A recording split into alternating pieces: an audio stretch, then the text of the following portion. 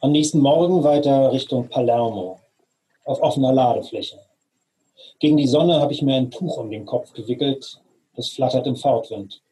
Links Hügel, Felsen und Felder, rechts brandet das Meer auf dem Strand. Kleine Inseln in der Ferne, dahinter das Festland, verschwommen im Dunst. Die letzte lange Tour ging von Palermo aus quer über die Insel. Nach ein paar Stunden kam das Meer wieder in Sicht. Wasser bis zum Horizont. 15 Monate bin ich schon unterwegs, habe ich gedacht, aber jetzt stehe ich an der Schwelle. Endlich. Das Meer sieht friedlich aus, wird schon alles gut gehen. Wir sind ja immer nicht die Ersten, die diese Tour machen. Ja, aber wir wären auch nicht die Ersten, die dabei absaufen. Ertrinken ist bestimmt ein beschissener Tod. Wenn man nach Luft schnappt und nur Wasser an den Hals kriegt. Kaltes, salziges Wasser. Deshalb können ja viele Fischer nicht schwimmen, das hat mir Willi erzählt. Denn dann muss man sich nicht so quälen. Wenn, das ist was, sagt Achim und stößt mich an, nicht? Was? Die Palmen links und rechts. Eine richtige Allee ist das. Wir kommen der Sache näher. Das sieht hier schon aus wie drüben, also wenn man sich mal die Bruchboden wegdenkt. Ja, sage ich, und leider liegt das Meer noch vor nicht hinter uns. Stimmt, sagt Achim und haut mir auf den Rücken. Noch. Kaum auf der Küstenstraße drückt der Fahrer auf die Tube. Am Strand stehen zwei alte Frauen und gucken uns hinterher.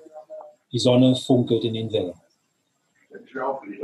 Via Azzurra, sagt Joris und beugt sich zu uns rüber. So heißt diese Straße.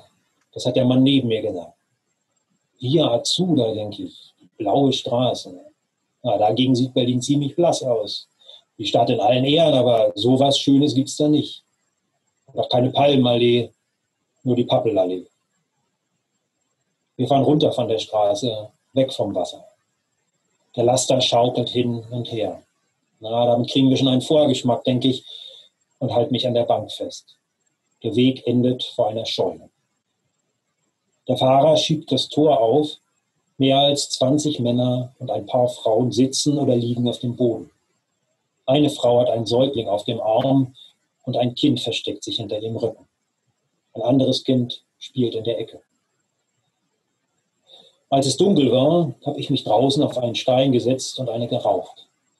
Die Nacht war sternenklar, die Grillen zirpten wie verrückt und in der Ferne rauschte das Meer. Joris kam raus und guckte hoch in den Himmel. Ah, da ein Flugzeug, siehst du es? Ja. Warum schüttelst du den Kopf? Tja, sag ich, wir sitzen hier unten und gucken rauf und die sitzen oben und gucken runter, wenn überhaupt. So ist die Welt, sagt Joris. Ja, ja, aber eins sage ich dir, wenn ich erst bei meinem Kumpel bin und da alles gut in der Spur ist, dann mache ich einen Ausflug nach Berlin.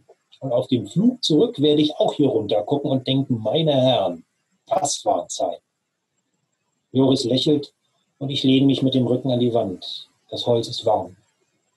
Ein leichter Wind kommt auf und bewegt das Gras. Sie kamen in der nächsten Nacht. Zwei Männer mit einem großen Laster.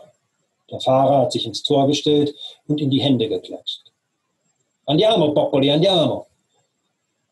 Die Ladefläche ist abgewetzt. Wir setzen uns hin, die Rucksäcke zwischen den Knien. Es wird eng. Als wir vollzählig sind, macht der andere Mann hinten zu. Es ist dunkel wie im Sack. Der Motor springt an, wir wenden und schaukeln über den Weg. Kaum auf der Straße schaltet der Fahrer hoch und tritt aufs Gas. Bei jedem Schlagloch werden wir durchgeschüttelt. Eins der Kinder fängt an zu heulen. Der Laster bremst ab und fährt runter von der Straße. Wieder schaukeln wir hin und her. Die Mutter redet auf das Kind ein ohne Erfolg. Wir halten an und der Motor geht aus. Draußen rauscht es. Das ist das Meer, denke ich. Jetzt wird's ernst.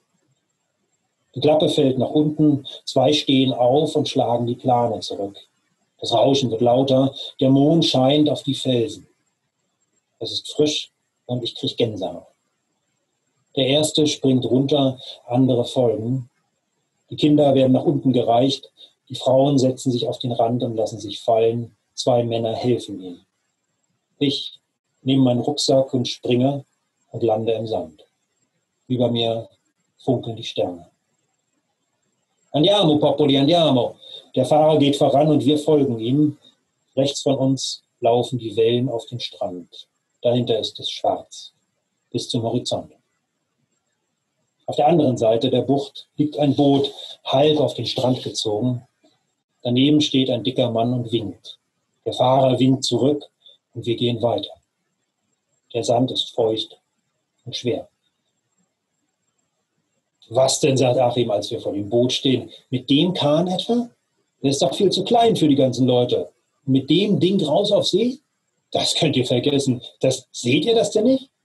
Andiamo Popoli, sagt der Fahrer, und zusammen mit dem Dicken stemmt er sich gegen das Boot, um es ins Wasser zu schieben. Nein, sagt Achim und packt ihn am Arm.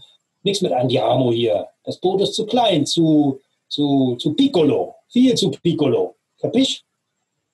No, sagt der Fahrer, hört auf zu schieben und dreht sich um. Tutto bene, sie? Nix mit tutto bene, sagt einer hinter mir. Er hat eine Regenjacke an, drängelt sich durch die Leute und bleibt neben Achim stehen. Ich sehe das genauso. Das Böding ist zu lütt. Der Fahrer seufzt und schüttelt den Kopf. Er pfeift und ruft Francesco. Pfeift nochmal. Francesco kommt angelaufen. Die Leute machen ihm Platz. Er tuschelt mit dem Fahrer. Sie, sagt Francesco und dreht sich um zu uns. Ich ein, ein bisschen Deutsch. Was ist Problema? Wie ich schon gesagt habe, sagt er in der Regenjacke. Und er hier auch. Das geht so nicht.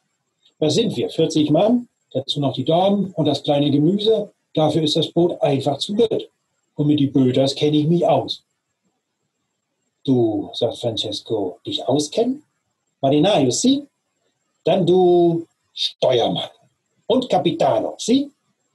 Was? Das wird ja immer schöner, sagt Achim. Erst ist der Kahn zu klein und jetzt heißt das, von euch kommt keiner mit? No. Wir hier und ihr.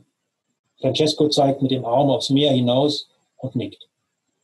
So läuft das nicht, sagt Achim. Und so kenne ich das auch nicht. Da mache ich nicht mit. So war das nicht abgemacht. So nicht. Dann sagt Francesco und zuckt mit den Schultern, dann nicht. Der Fahrer und der Dicke stemmen sich wieder gegen das Boot und ein paar Männer helfen ihm. Der Pan kommt frei und sie drehen ihn so, dass die Spitze aufs offene Meer zeigt. Francesco redet mit einem Glatzkopf, der nickt immer wieder und kratzt sich hinterm Ohr. Die beiden klettern an Bord. Francesco erklärt ihm was am Motor und zeigt mit dem Arm aufs Meer hinaus. Der Glatzkopf nickt Francesco klopft ihm auf die Schulter und kommt allein zurück. Avanti, avanti, sagt der Fahrer und rudert mit den Armen, damit wir an Bord gehen. Die Leute um uns herum ziehen sich Schuhe und Strümpfe aus und die ersten warten zum Boot. Achim schüttelt den Kopf.